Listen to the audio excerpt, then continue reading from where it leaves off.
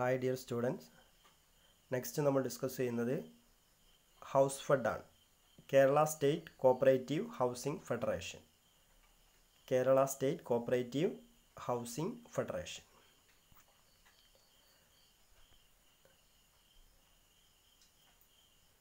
house fund is an apex society of primary housing societies in Kerala നമുക്കറിയാം housing cooperative സൊസൈറ്റീസിന് two tier സ്ട്രക്ചറായിരുന്നു ഉണ്ടായിരുന്നത്.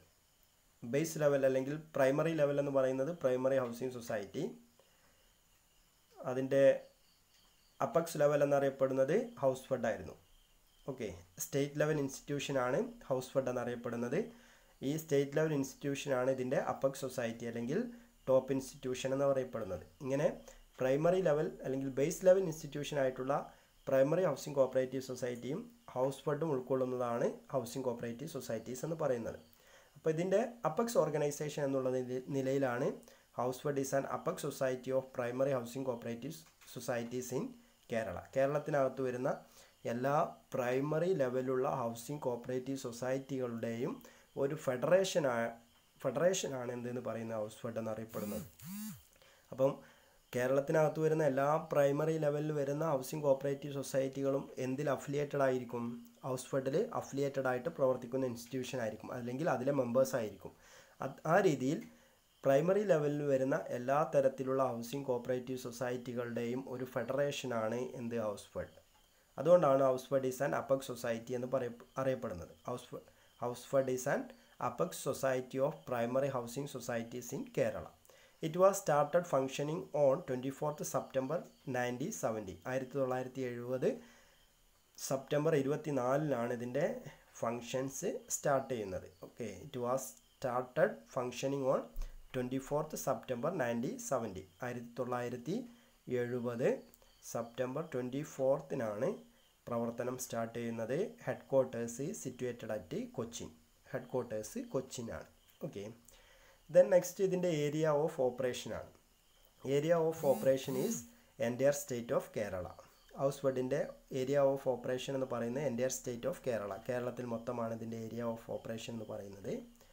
Liability so it is limited to the share capital paid by them ഓരോ share ഹോൾഡറും എത്രയാണോ share capital payment നടത്തിയിട്ടുള്ളത് അത്രയാണ് ഓരോ ഷെയർ ഹോൾഡറുടെയും ലാബിലിറ്റി എന്ന് പറയുന്നത്. ഓക്കെ നമ്മൾ എത്ര രൂപയുടെ ഷെയർ വാങ്ങിച്ചിട്ടുണ്ടോ അത്രയായിരിക്കും നമ്മുടെ ലാബിലിറ്റി എന്നർത്ഥം നമ്മളൊരു ടെൻ തൗസൻഡ് റുപ്പീസിന്റെ ഷെയർ ഷെയർ വാങ്ങിച്ചിട്ടുണ്ട് ഹൗസ് ഫെഡിൽ നിന്നെങ്കിൽ നമ്മുടെ ലാബിലിറ്റി എന്ന് പറയുന്നത് ആ ടെൻ തൗസൻഡ് ആയിരിക്കും. Liability is limited to the shares paid by them okay അപ്പോൾ മൂന്ന് കാര്യങ്ങളാണ് പറഞ്ഞ് ഹൗസ് ഫെഡ് എന്ന് പറയപ്പെടുന്നത്. So it is a apex organisation apex institution of all primary housing cooperative societies in Kerala. കേരളത്തിലെ എല്ലാ ഹൗസിംഗ് കോപ്പറേറ്റീവ് സൊസൈറ്റികളുടെയും ഒരു apex ഓർഗനൈസേഷനാണ് house fund okay it was started its operation on twenty fourth September nineteen seventeen. Seventy okay. Its headquarters is situated at Cochin. Area of operation entire state of Kerala. Liability so it is limited to the shares paid by them next ഇതിന്റെ objects ആണ്. Objects മൂന്ന് കാര്യങ്ങളാണ് പറയുന്നത്. First one to provide long term loans to the member societies ഇതിൽ affiliated ആയിട്ടുള്ള എല്ലാ primary ലെവലിലുള്ള primary housing സൊസൈറ്റികൾക്കും ആവശ്യമായിട്ടുള്ള ലോങ് ടേം ലോൺ പ്രൊവൈഡ് ചെയ്യുക. ഇതാണ് first object to provide long term loans to the members society എന്ന് പറഞ്ഞു കഴിഞ്ഞാൽ ഇതിലെ മെമ്പേഴ്സ് ആരാണ്? പ്രൈമറി ലെവലിലുള്ള ഹൗസിംഗ് കോപ്പറേറ്റീവ് സൊസൈറ്റീസ് ആണ്. അപ്പോൾ ആ പ്രൈമറി ലെവലിലുള്ള ഹൗസിംഗ് കോപ്പറേറ്റീവ് സൊസൈറ്റികൾക്ക് ആവശ്യമായിട്ടുള്ള ലോങ് ടേം ലോൺ പ്രൊവൈഡ് ചെയ്യുക. Second to undertake manufacturing of building materials രണ്ടാമത്തെ കാര്യം എന്താണ്? ബിൽഡിംഗ് മെറ്റീരിയൽസ് മാനുഫാക്ചറിങ് നടത്തുക. അതായത് ഹൗസിംഗ് കോപ്പറേറ്റീവ് സൊസൈറ്റിയുടെ എയിം എന്ന് പറയുന്നത് എന്താണ്? So it helps to construct houses വീടുകൾ നിർമ്മിക്കുന്നതിന് ആവശ്യമായിട്ടുള്ള സഹായം ചെയ്യുക എന്നുള്ളതാണ്. അപ്പോൾ വീടുകൾ നിർമ്മിക്കുന്നതിനാവശ്യമായിട്ടുള്ള ഹൗസിംഗ് മെറ്റീരിയൽസ് എന്തൊക്കെയാണോ അത്തരത്തിലുള്ള ബിൽഡിംഗ് മെറ്റീരിയൽസ് കൺസ്ട്രക്റ്റ് ചെയ്യുന്നതിന് അല്ലെങ്കിൽ മാനുഫാക്ചറിങ് നടത്തുന്നതിനാവശ്യമായിട്ടുള്ള കാര്യങ്ങൾ ചെയ്യുക എന്നുള്ളതാണ്. ഓക്കെ അപ്പം ബിൽഡിംഗ് കൺസ്ട്രക്റ്റ് ചെയ്യുന്നതിനാവശ്യമായിട്ടുള്ള മെറ്റീരിയൽസ് എന്താണോ അത്തരത്തിലുള്ള ബിൽഡിംഗ് മെറ്റീരിയൽസ് എന്ത് ചെയ്യണം? മാനുഫാക്ചറിങ് നടത്തണം. ഇതാണ് so to undertake manufacturing of building materials third to carry on trade to the building material for the benefit of the members മൂന്നാമത്തെ കാര്യം രണ്ടാമത്തെ പോയിന്റ് നമ്മൾ പറഞ്ഞു ബിൽഡിംഗ് മെറ്റീരിയൽസ് മാനുഫാക്ചറിങ് നടത്തുക എന്നായിരുന്നു അത്തരത്തിൽ നമ്മൾ മാനുഫാക്ചറിങ് നടത്തുന്ന ഹൗസ് ഫെഡ് മാനുഫാക്ചറിങ് നടത്തുന്ന ബിൽഡിംഗ് മെറ്റീരിയൽസ് അതിലെ മെമ്പേഴ്സിന് ഏറ്റവും ബെനിഫിറ്റ് ഉണ്ടാവുന്ന രീതിയിൽ ദാറ്റ് മീൻസ് ഏറ്റവും കുറഞ്ഞ വിലക്ക് ലഭ്യമാക്കുന്നതിനാവശ്യമായിട്ടുള്ള കാര്യങ്ങൾ ചെയ്യുക. ഓക്കെ അതല്ലെങ്കിൽ മെമ്പേഴ്സിന് ബിൽഡിംഗ് മെറ്റീരിയൽ ഏറ്റവും ബെനിഫിറ്റ് കിട്ടുന്ന രീതിയിൽ ട്രേഡ് നടത്തുക എന്നുള്ളതാണ് മൂന്നാമത്തെ ഓബ്ജക്റ്റ് ഓക്കെ. അപ്പോൾ ബിൽഡിംഗ് മെറ്റീരിയൽസ് ഏറ്റവും ചീപ്പ് റേറ്റിന് അവർക്ക് കിട്ടണം. എന്നാലേ ഏറ്റവും ബെനിഫിറ്റുള്ള രീതിയിൽ അവർക്ക് വീട് നിർമ്മിക്കാൻ കഴിയുള്ളൂ. ഓക്കെ. ആ രീതിയിൽ മെമ്പേഴ്സിന് ഏറ്റവും വില കുറച്ച് ബിൽഡിംഗ് നിർമ്മിക്കാൻ ആവശ്യമായിട്ടുള്ള മെറ്റീരിയൽസ് വിൽപ്പന നടത്തുക എന്നുള്ളതാണ് മൂന്നാമത്തെ ഒബ്ജക്റ്റ് അങ്ങനെ ആ രീതിയിൽ മൂന്ന് ഒബ്ജക്ട്സ് ആണ് പറയുന്നുള്ളൂ. ഒന്നാമത്തെ എന്താണ്? പ്രൈമറി ഹൗസിംഗ് കോപ്പറേറ്റീവ് സൊസൈറ്റികൾക്ക് ലോങ് ടേം ലോൺസ് പ്രൊവൈഡ് ചെയ്ത് കൊടുക്കുക. രണ്ടാമത്തെ manufacturing of building material third trade of trade to the building material നിർമ്മിക്കുന്ന ബിൽഡിംഗ് മെറ്റീരിയൽ ഏറ്റവും ബെനിഫിറ്റ് ഉണ്ടാവുന്ന രീതിയിൽ മെമ്പേഴ്സിന് വിൽപ്പന നടത്തുക. ഈ മൂന്ന് കാര്യങ്ങളാണ് ഇതിന്റെ ഒബ്ജക്ട്സ് പറയുന്നത്. ഓക്കെ ഇനി നമുക്ക് പറയാനുള്ളത് മെമ്പർഷിപ്പാണ് മെമ്പർഷിപ്പ് സോ ഹൗസ് ഫണ്ടിൽ മെമ്പേഴ്സ് ആയിട്ടുള്ളത് രണ്ടാളുകളാണ്. ഒന്ന് പ്രൈമറി ഹൗസിംഗ് സൊസൈറ്റിയും സെക്കൻഡ് സ്റ്റേറ്റ് ഗവൺമെന്റും ഇതിന്റെ ഇൻട്രൊഡക്ഷൻ പാർട്ടിൽ തന്നെ നമ്മൾ പറഞ്ഞപ്പോൾ പറഞ്ഞിട്ടുണ്ടായിരുന്നു.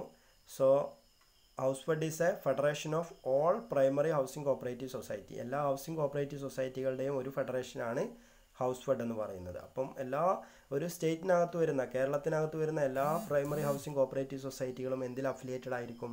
എന്തിൽ രജിസ്റ്റർ ചെയ്ത് പ്രവർത്തിക്കുന്നതായിരിക്കും ഹൗസ് ഫണ്ട്. അപ്പോൾ ആ രീതിയിൽ ഹൗസ് ഫണ്ടിനകത്ത് അതിന്റെ ബേസ് ലെവലിൽ വരുന്ന എല്ലാ പ്രൈമറി ഹൗസിംഗ് സൊസൈറ്റികളും മെമ്പേഴ്സ് ആയിരിക്കും മറ്റൊന്ന് സ്റ്റേറ്റ് ഗവൺമെന്റുമാണ്. ഇങ്ങനെ രണ്ട് മെമ്പർഷിപ്പാണ് അതിനകത്തുള്ളത്. ദെൻ അതിന്റെ share ക്യാപിറ്റലാണ് share capital so the authorised share capital of the federation is rupees fifty crores fifty crores ആണ് ഇതിന്റെ ഓതറൈസ്ഡ് ഷെയർ ക്യാപിറ്റൽ എന്ന് പറയുന്നത്.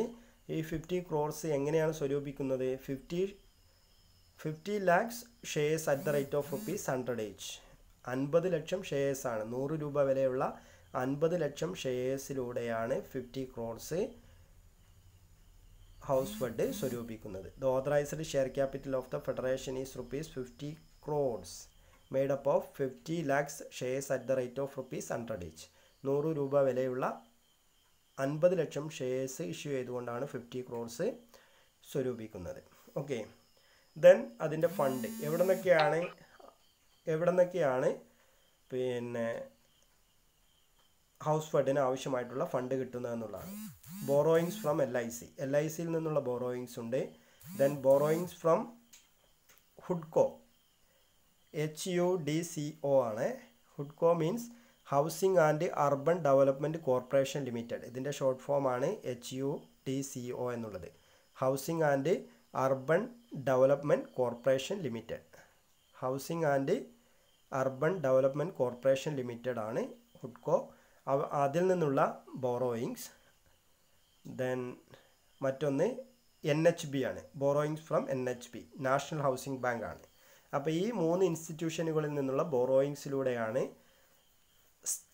ഹൗസ് ഫണ്ട് ആവശ്യമായിട്ടുള്ള fund സ്വരൂപിക്കുന്നത്. Okay borrowings from L I C borrowings from H U D C O ഹുഡ്കോ then borrowings from N H P national housing bank ഇവരിൽ നിന്നുള്ള ബോറോയിങ്സിലൂടെയാണ് house fund ആവശ്യമായിട്ടുള്ള fund സ്വരൂപിക്കുന്നത്. Okay next ഇതിന്റെ management management board of directors ആണ് ഇതിന്റെ ultimate authority എന്നറിയപ്പെടുന്നത്. Board of directors consist of twenty twenty two members ഇരുപത്തി രണ്ട് മെമ്പേഴ്സ് ഉൾക്കൊള്ളുന്ന ഒരു ബോർഡ് ഓഫ് ഡയറക്ടേഴ്സ് ഉണ്ട്. A president and vice president is elected from among the board members ഇതിന്റെ board മെമ്പേഴ്സിൽ നിന്ന് ഇലക്റ്റ് ചെയ്യുന്ന ഒരു പ്രസിഡന്റും വൈസ് പ്രസിഡന്റും ഉണ്ടായിരിക്കും. ഇവരാണ് ഇതിന്റെ ഡേ ടു ഡേ ഓപ്പറേഷനും കാര്യങ്ങളൊക്കെ നോക്കി നടത്തുക. അപ്പം ബോർഡ് ഓഫ് ഡയറക്ടേഴ്സ് ആണ് ഇതിന്റെ അൾട്ടിമേറ്റ് അതോറിറ്റി എന്ന് പറയപ്പെടുന്നത്. അതിനകത്ത് ട്വന്റി ടു മെമ്പേഴ്സാണ് ഉൾക്കൊള്ളുന്നത്. ഈ ബോർഡ് മെമ്പേഴ്സിൽ നിന്ന് സെലക്ട് ചെയ്യുന്ന ഒരു പ്രസിഡന്റും വൈസ് പ്രസിഡന്റും ഉണ്ടായിരിക്കും. ഇതാണ് ഇതിന്റെ മാനേജ്മെന്റ് എന്നറിയപ്പെടുന്നത്. ദെൻ ഫങ്ഷൻ ആണ്. ഫങ്ഷൻസ് നമുക്ക് അടുത്തൊരു ചെറിയ വീഡിയോ ആയിട്ട് ചെയ്യാം. Okay thank